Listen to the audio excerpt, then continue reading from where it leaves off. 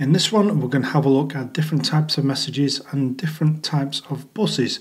And by the end of this, we're going to have set up a command bus to take care of part of our application. And we're also going to have a look at the architecture of our application in general as it stands and see how we can adapt it so that we can introduce a command bus and an event bus. Choose high definition for the best viewing experience, and if you'd like to join a growing group of software developers and take your skills to a new level, all you need to do is subscribe, click the little notification icon, and welcome. So, first, let's tackle some of that terminology. At the moment, in our application, we are using a single bus, and it is just a generic bus. We've not designated it as a command bus or an event bus, it is just a generic bus which can handle events or commands. So let's talk about commands and events because in order to understand command buses and event buses, we'd first need to understand commands and events.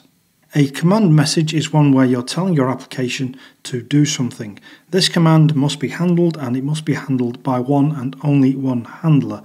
An event message, on the other hand, is one where you're not telling your application to do something, you're telling your application that something just happened. There is no obligation for you to handle that event, it's simply information. Information that something has happened, and so you can have as many handlers as you like, which are ready to respond to that event, or indeed you could have zero handlers which are ready to respond. Let's consider buses. With our application as it stands, we can route both command messages and event messages to our one and only default bus because Messenger is designed or has been designed to be able to act as either a command bus or an event bus. In fact, let's go to the terminal and just remind ourselves of what we've been working with so far. So if you run the command symfony console debug colon auto wiring and then the word messenger, you'll see this. And so what we're looking at is this one here, message bus interface. We just have one bus and that is this one, message bus default.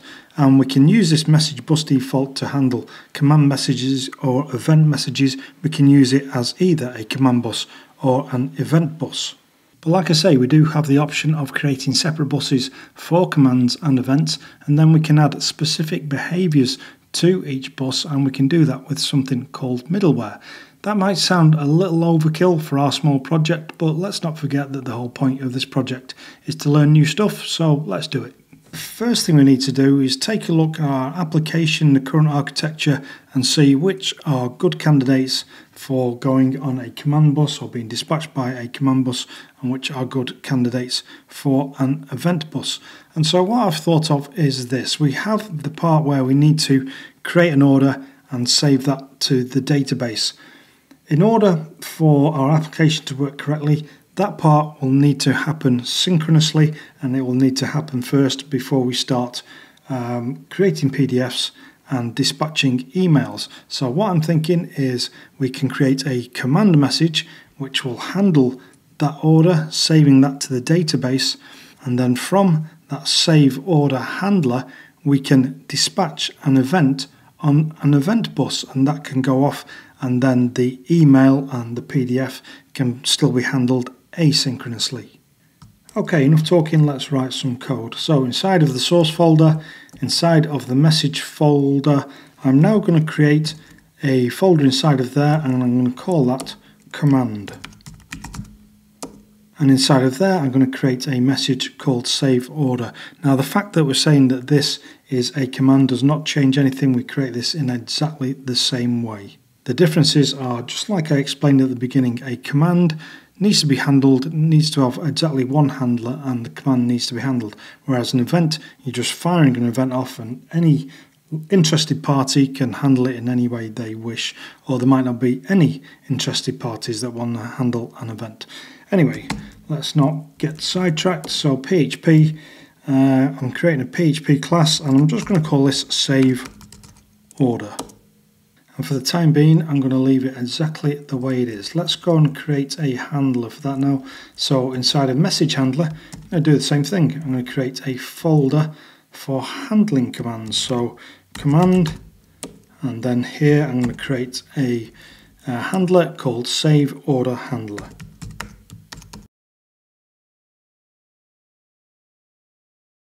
Next I need to designate this as a message handler. Now previously I did it with attributes but I've sort of had second thoughts about this. Uh, so when we created our previous message handler we used this um, as message handler attribute. However I've marked this project as being uh, compatible with PHP 8 but this was only introduced into Symfony in PHP 6.1 which I think will only work with PHP 8.1 and above. So what I'm going to do is I'm just going to remove that and we're going to do it old school. So uh, we'll say implements and then we'll go message handler interface. And so that will do the same thing. That will designate this save order, hand, save order handler as a message handler. And so the one thing we do need is an invoke method. So we'll create that now and then as the lone argument this will be our save order. And then I need to save an order. So here we're just going to pretend for the time being. So we'll say that we're saving an order to the database and we'll just create an order ID I'll just set that as 123 and then just so that we've got some feedback and we know that this is working we're just going to echo out order being saved. And then what we said would like to happen was that the event would then be dispatched in order to send the email and create the PDF. And so we're just saying dispatch an event message on an event bus. So we'll not get into that just yet. Let's now go over and set up separate buses, a command bus and an event bus. So over to config and then inside of packages we are looking for messenger.yaml and so here we'd created our two transports just above there I'm going to create a key called buses. And then I'm going to have one called command bus so command.bus and then for the time being I'm not going to add any options for that. I'm also going to create another one called event bus and I'll just call that event.bus. So you could call these anything really, but we're just being explicit with the names so we know what each of them are. If you are going to create more than one bus, then that means that you need to set up a default bus. So for us, I'm just going to set the default bus to the command bus. And that means that if you don't uh, specify which bus you want to use, then it will default to using the command bus which I think is a pretty good default in our case.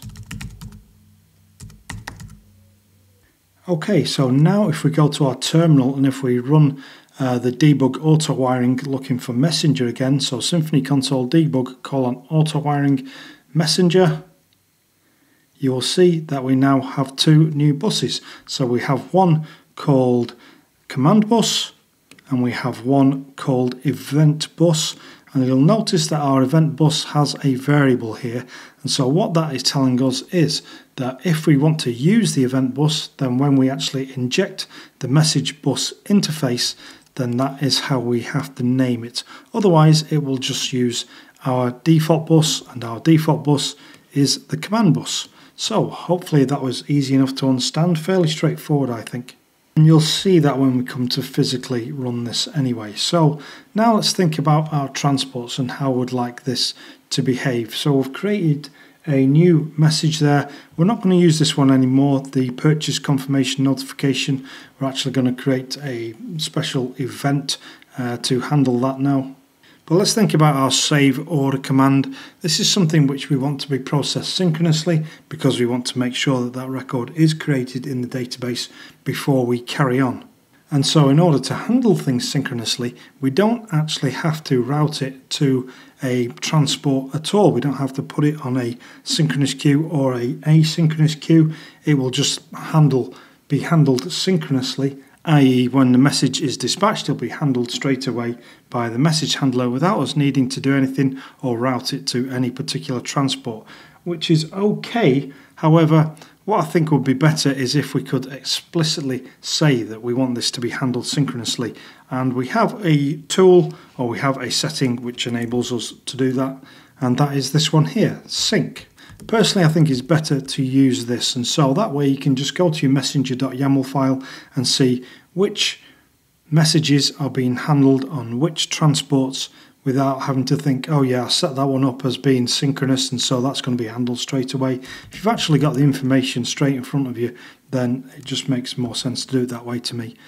Anyway, let's go and comment out this one. And now what we want is app message command backslash save order. And then it is a colon and then we're saying that we are sending this to the synchronous transport sync. Again, this could be called anything. We could call it foo, we could call it bar. The important bit is this. This is telling Messenger to handle this synchronously. Now we need to go back to our stock transaction controller. What I'm going to do with this order is just comment it out now because we don't need that anymore. And here, instead of dispatching a new purchase confirmation notification, we are dispatching a new save order. And for the time being, we've said that it's not taking any arguments. We've just kept it nice and simple because basically this one is about just getting us set up with a command bus, getting our architecture the way that we want it. Let's go and check on our bus. So we are using the default bus, which means that we could call this anything except event bus and then the default command bus will be used. So now I think we should be able to go over and test this and see if it's doing what we expect it to do. So I've not got Docker running anymore, so I need to start that up again. Docker compose up hyphen D. And then again, I'll start my server, so Symfony server start hyphen D. Okay, so let's go and check this out. So 127.0.0.1 colon 8000 and then it is the buy endpoint. Okay, so that all happened straight away. There's our message that we put in there, order being saved, and then this bit just came from our twig template. And so that tells me that everything is working really. Let's just recap on what we've done. We've decided to rework our architecture in order to take advantage of having a separate command bus and a separate event bus. And so we've got one command here or command message which we've called save order and then we have a message handler here, uh, save order handler and so that is going to save our order and then this is also going to dispatch an event message on an event bus and that's something that we're going to have a look at in the next one. I hope you've managed to follow along. Sometimes it can be confusing when you're introduced to these things all at once. So there we've looked at command buses, we've looked at event buses, but we've also been talking about transports and asynchronous transport synchronous so it can be quite confusing when you get introduced to it all at once but by all means just go through the code uh, if you've not managed to follow along with your own code then pull the repo for this uh, recording. The um, branch you want is part 7 command bus. So by all means take a look at my code and if you just go through it slowly, it will start to make more sense to you, and it'll start to make more sense to you as we progress through the other recordings. Let's move on and start on event buses. If you've enjoyed this video and you'd like YouTube to show you more of my content, all you need to do is subscribe and click the notification icon. And also, if you're interested in my full-length courses, then make sure you check out my site at garyclarke.tech. I'll leave a link on the screen and in the description.